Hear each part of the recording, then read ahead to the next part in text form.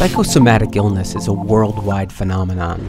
Psychosomatic refers to the physical symptoms that occur for psychological or mental thoughts you have.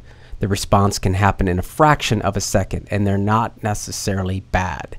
Tearing from crying or laughing or face blushing of embarrassment are examples of these. They are normal responses that do not represent illness, and most people are not even aware of them. It is only when psychosomatic symptoms go beyond the ordinary and block our ability to function that illness results. The world likes the idea that we can think ourselves better. If we are sick or struggling with something, we tell ourselves that if we have a positive mental attitude, we'll have a better chance of recovery. I'm 100% confident that's true. However, people do quite the opposite. They unconsciously think themselves ill.